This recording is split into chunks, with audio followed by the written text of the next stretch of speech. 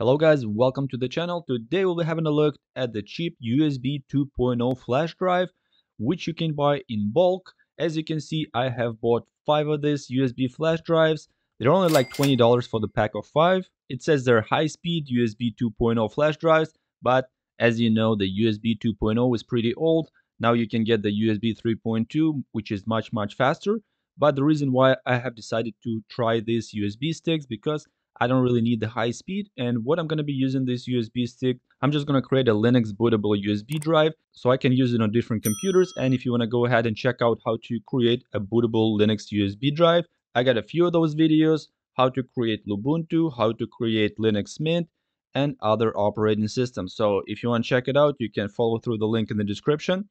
And I'm also going to put a few links in the upper right corner. But anyway, let's go ahead and unpackage this USB stick so as you can see, they look pretty cool. They got a transparent design and you can see the PCB, you can see the controller, you can see the flash memory. And it also has an LED when it's flashing. So I think this is pretty cool because you can buy five of this for $20 and they actually look better than many other more expensive USB drives. It is really handy if you don't need high speed, but you just want to record something and leave it there for a while without having to rewrite it very often.